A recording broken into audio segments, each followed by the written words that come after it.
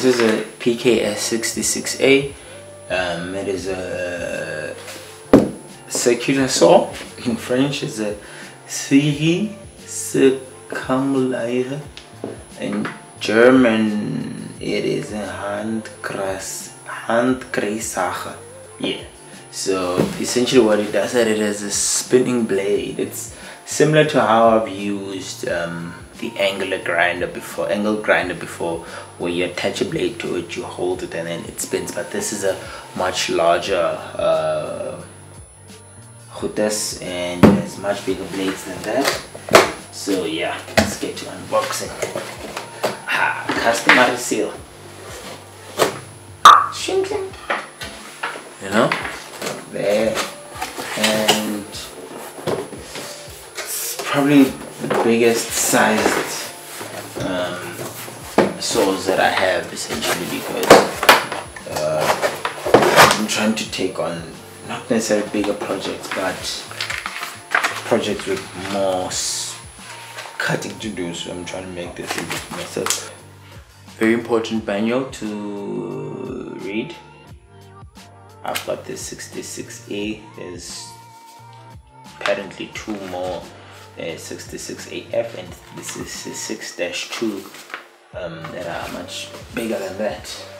Um, one thing that I liked about this particular model was the dust filter or dust box and because cutting wood makes a lot of wood chip dust and all of that kind of stuff so everything just sort of falls into that space there and then you can clear that out. Effectiveness something else we'll get to that when we work it. This is your parallel guide. Simply if you're cutting something and you sort of want to know how far from how how deep you're cutting into this goes to about 16 centimeters. So that's if you're cutting something that uh, wide. So this will be space on it we'll need a flat surface there and it'll be 16 centimeters wide. Um, this I believe looks like a dust port extractor plug what what? Uh, don't think it goes there.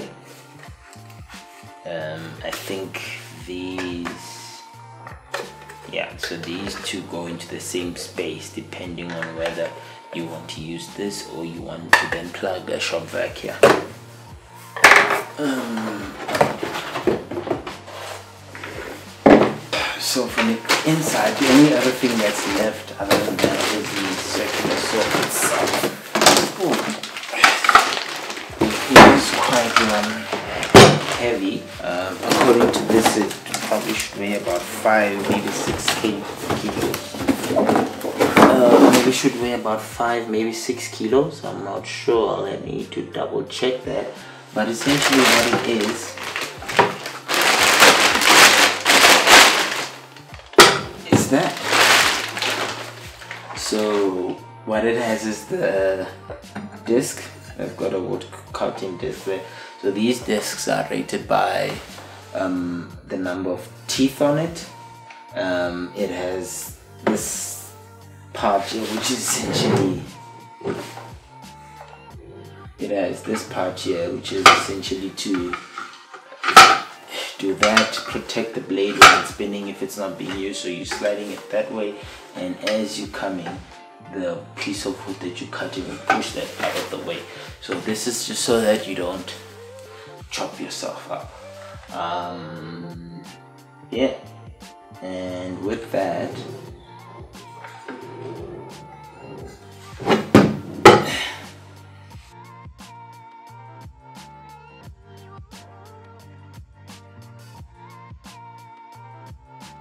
so that is all that you find in the box. Um, unfortunately even though it's green it does not come with a box uh, a, plastic box to save or keep stuff in. But other than that it is what I expected a circular saw. Nothing more than that. Um, ish, plugging in eh? let's see how operate this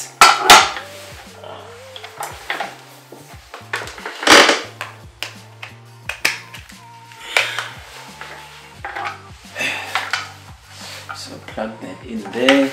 You hold it like this. It's got a, uh, what you call it, a difference. You know how the drill, when you click on it, um, how the drill, when you click on it, it locks. This one is unlocked. I mean is locked by default so you cannot press unless this to avoid accidental um, to avoid accidents so what you have is that you put it on the surface. You then need to click on this before you if you don't click on this you will not be able to to do that and that's from a safety perspective. You've got your angle bit here and your depth bit there. So yeah hopefully I get to use this in a future project. And this is it. This is the wow. This is it. This is the Bosch PK 66A um, circular saw. So hoping to get to use that in my next project and be on the lookout for that